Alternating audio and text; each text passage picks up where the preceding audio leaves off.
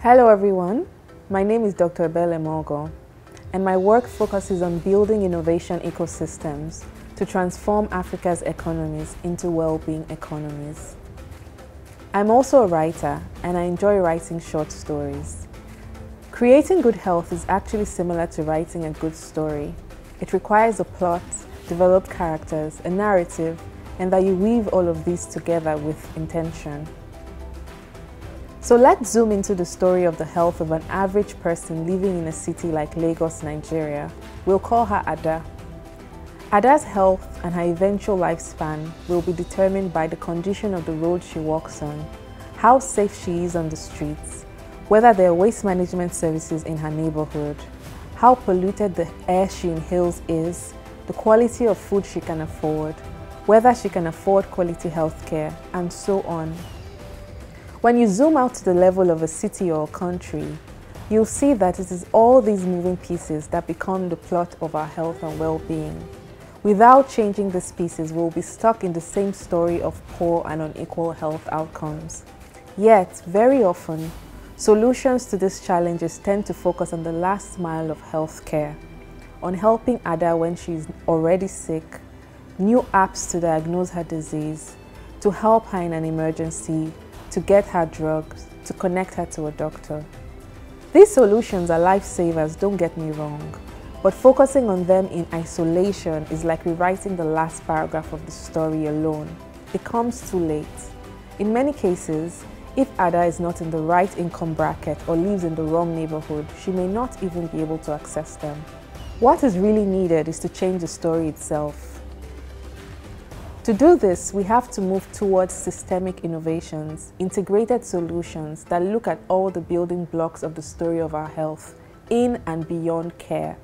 Essentially, we have to reverse engineer our story to understand its pieces.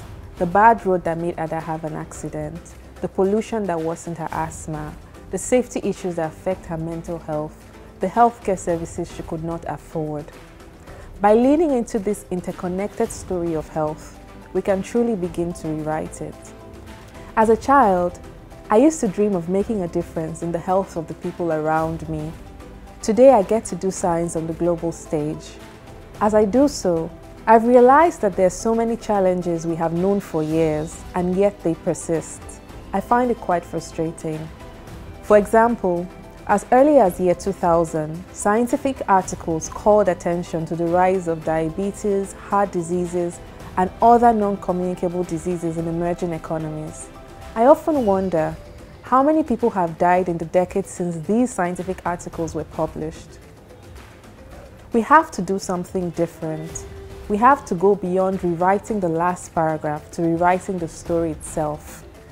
I have dedicated my work to this exact goal, to understand and design systemic innovations to the challenges that define the story of our health and therefore to contribute to transforming Africa's economies into well-being economies.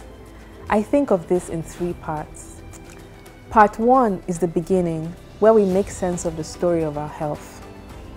Every city has a signature, a persona made up of the building blocks that shape its health outcomes, from the history to social norms to demographics to health outcomes to infrastructure and so on.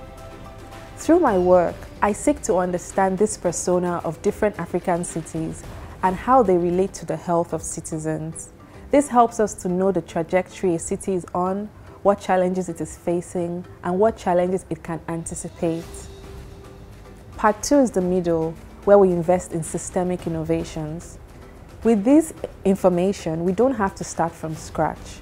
We can compare cities in similar points in the trajectory of development to understand what is currently needed. We can invest in adaptive innovations, solutions that have been shown to address existing problems.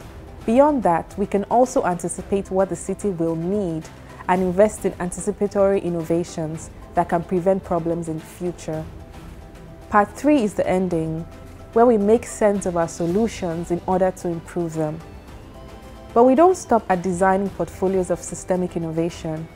By using tools to continually learn what is going on in all these interconnected systems, we can make sure that the solutions are suited for the people they are designed for, improve them, and where necessary, apply them on a bigger scale. That, in a nutshell, is the blueprint. But to write a great story, you cannot do it alone. You need editors, publishers, press, readers, etc. Likewise, we can only write a different story for health in Africa with all these pieces of the ecosystem. The innovators making solutions, policymakers incentivizing innovation on complex challenges, investors with the patient capital to shape our markets and infrastructure for health and well-being, and researchers that study the moving parts to help us know what works. So I hope that if you're thinking big about health in Africa and about innovating at the level of the causes and not just the consequences, you'll reach out to me. Thank you.